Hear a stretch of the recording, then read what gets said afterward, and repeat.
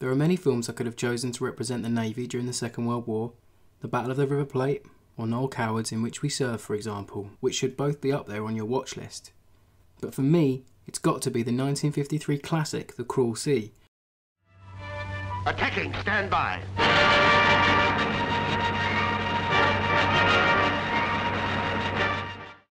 Based on the best selling book of the same name by Nicholas Monsarrat.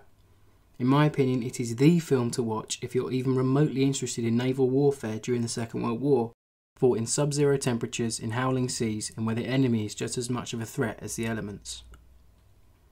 It could be said I'm a little biased towards this film, as it's a firm family favourite.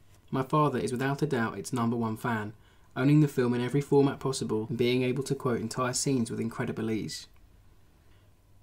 Directed by Charles Frend, The Cruel Sea is a classic 50s British war movie. The officers are clipped and the lower ranks are working class. However, they are never shown to be anything more than men of their era, just trying to serve their country and make it home safely after the war has been won. The film's plot focuses on the crew of the Compass Rose, a Flower class corvette serving as a convoy escort during the Battle of the Atlantic. Opening during the ship's fitting on the Clyde, the crew first meet one another and undertake sea trials and training for anti submarine warfare, using tools such as ASDIC, a form of sonar used to detect U boats underwater, and depth charges used to blast those U boats to the bottom of the sea and further protect convoys vital to the war effort. Anti submarine detector, ASDIC for short. A device under the ship here sends a series of sound impulses out through the water like this. Bing! Bing! Jack Hawkins, who plays the lead Lieutenant Commander George Ericson, wrote this about the film in his 1973 biography. The Cruel Sea contained no false heroics. This is why we all felt that we were making a genuine example of the way in which a group of men went to war. Along with Hawkins, there are plenty of other recognisable post war stars aboard the Compass Rose. Donald Sinden portrays the newly appointed Sub Lieutenant Keith Lockhart, and a young Stanley Baker, who depicts the sneering Lieutenant James Bennett. I can guarantee it's worth watching for their performances alone. The film doesn't skimp on historical accuracy either, something that's plagued many post war war movies. Need I mention that quote unquote tiger tank in A Bridge Too Far? The ships used in the film are the real deal, the Compass Rose being portrayed by the Flower Course corvette the HMS Coreopsis, commissioned on the 17th of August 1940, and seeing action as a convoy escort until 1943, where she was transferred to the Royal Hellenic Navy of Greece, being renamed the Kriezis.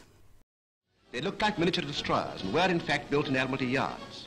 But more and more were needed and civilian yards had to be used.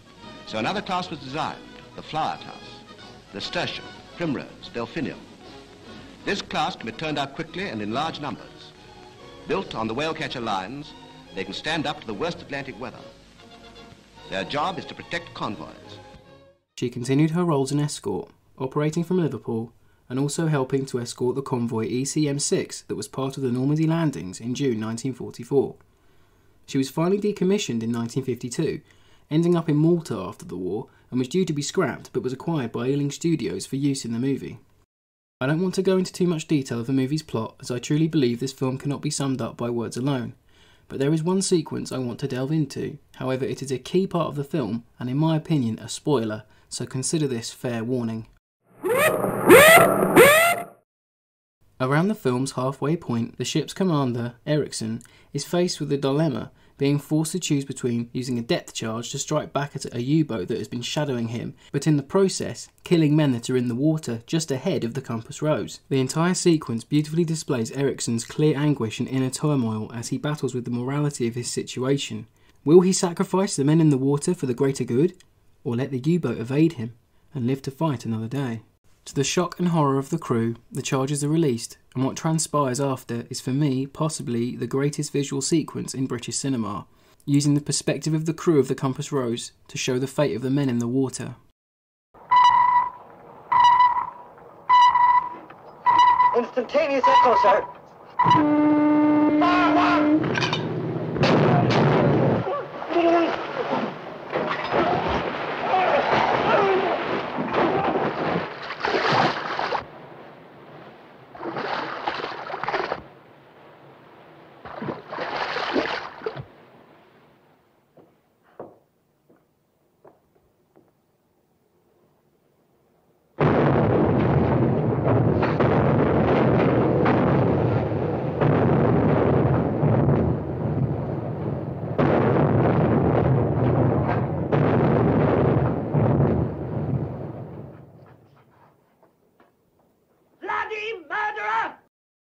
The Cruel Sea is a real testament to those naval servicemen who braved the swell of the oceans to keep Britain going throughout the war.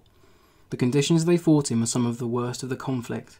We owe them a great debt and should never forget their contributions to the war effort, in arguably the most important theatre of the war, with Winston Churchill saying, the only thing he truly feared was the U-boat menace.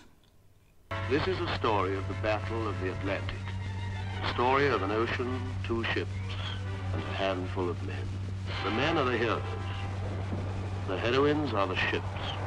The only villain is the sea. The cruel sea.